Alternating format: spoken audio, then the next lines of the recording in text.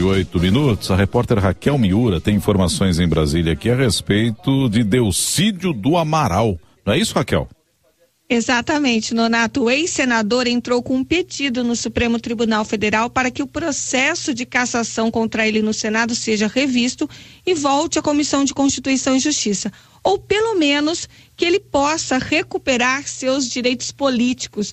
O mandado de segurança diz que houve atropelos na tramitação do caso e cita a decisão dos senadores que cassaram o mandato de Dilma Rousseff, porém fizeram outra votação em que asseguraram à petista o direito dela ocupar função pública, inclusive por meio de eleições. Delcídio chegou a ser preso e depois foi cassado sob acusação de atrapalhar as investigações da Lava Jato. Ele responde à ação criminal. Alega que não pode haver dois pesos e duas medidas. O pedido será relatado pelo ministro Celso de Mello. É aquela decisão do fatiamento, gerando já repercussões e ações no STF, Nonato. Muito obrigado, Raquel Miura, portanto, trazendo esses detalhes aí.